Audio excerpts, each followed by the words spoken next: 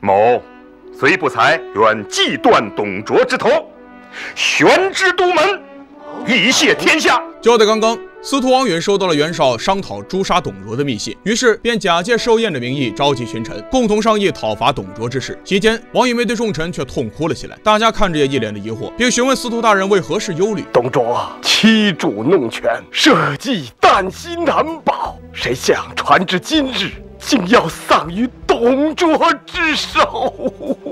众人听完后无不痛哭流涕，唯有曹操一人仰天大笑。王允见状，痛斥其数典忘祖。然而曹操就起身嘲笑大家只会哭，难道哭能哭死董卓吗？随后便说出了一番慷慨激昂的话，宣告群臣他可不费一兵一卒就能杀死董卓。于是王司徒将曹操带入密室深聊，到这时他才知道曹操乃是有胆有略的忠臣。在看完袁绍的密信后，却嘲笑袁绍只会纸上谈兵，而他有一妙计，举手投足之间便可除掉董卓，但前提是需要王允献出七星宝刀。王允一听便懂得曹操要刺刺杀董卓，可古往今来刺杀君主成功的案例少之又少，此计恐怕不妥。但曹操却一脸自信，他告诉王允，董卓防人之心必然有，但他防的是与他对立之人。而曹操久屈董卓之下，也深受其信任。若是身边最亲信的人刺杀，他便防不胜防。王允听完后连连夸赞，即刻将七星宝刀赠与曹操，而曹操也立马下跪发誓：皇天后土，汉臣骁骑校尉曹操弑杀奸贼董卓，上安朝廷社稷，下泄天下黎民，赴汤蹈火，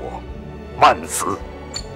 不辞。就这样，曹操携七星宝刀来到相府。他从书童口中得知，相国正在小阁休息，而下人们都偷空干自己的事儿去了，因此府中寂静人少。曹操觉得这是个动手的绝佳机会。可就算手下再少，吕布如果不走，曹操依旧是没有机会下手。可就在此时，天赐良机，董卓从曹操口中得知他的坐骑瘦弱，不堪驱驰，于是便命吕布出门为其挑选良驹。而等吕布走后不久，董卓疲劳困乏，便躺下歇息了。这乃是千载难逢的好机会啊！曹操没有犹豫，拔出腰间的七星宝刀准备行刺。就在这千钧一发之际，董卓却突然醒过来，发现了他。好在曹操急中生智，将七星宝刀赠予董卓，这才化解了危机。董卓将吕布挑选好的宝马赠给曹操，随后也顺利的离开相府。而吕布突然觉得不太对劲儿，他认为曹操本身就是蓄意刺杀，事情败露之后找了一个献刀的借口罢了。但此时的曹操早已逃出城外。随后，董卓派人去曹操府中查验，果然印证了行刺的意图。董卓大怒，于是发下文书，全国通缉曹操，势必要抓住这个刺客。另一边，曹操四处逃窜，来到了中牟县，可一进城门就被侍卫认出来，并被抓到当地的县衙里。公堂上，曹操自称复姓皇甫，这是个商客，大叫他们抓错人了。但县令陈宫一眼就认出此人便是曹操，只不过当时并没有拆穿，而是将曹操监禁了起来。深夜，曹操被人带到了堂前，原来是陈宫私下与其会面，他想要知道曹操为何行刺董卓。在一番交谈下来，他知道曹操是个胸怀大志之人。陈宫一听曹操的壮志豪言，深受启发，立马解下手上的手铐，随后便坐下面谈。曹操向陈宫讲述了自己的计划，他要去与袁绍会合，然后发檄文于各州郡，召集各个诸侯共同讨卓。陈宫在听完曹操的一番肺腑之言后，他决定放弃县令一职，和曹操一起共图大业。随后，两人便开始了流亡之路。他们一起来到吕伯奢家中借住，此人是曹操父亲的结义兄弟。吕伯奢见到曹操逃难至此，赶紧将二人引进屋内，盛情款待他们。夜里，曹操突然被一阵磨刀声惊醒，原来是吕伯奢去通风报信，叫来官兵围剿曹操。于是他们决定先下手为强，直接杀掉了吕伯奢全家。直到他闯进厨房，才发现原来老伯是让家人杀猪款待他们，自己出去买酒了。但事已至此，他们二人只好先行离开。逃亡的路上，他们却遇见了买酒回来的吕伯奢。此刻，陈宫、曹操后悔不已。但曹操料想到吕伯奢回家后看到全家惨死，必不会放过他，于是痛下狠心，索性将其杀死。而陈宫却不明白曹操为何要滥杀无辜，这还是那几个小时之前他认识的曹操吗？然而曹操却这样解释：宁教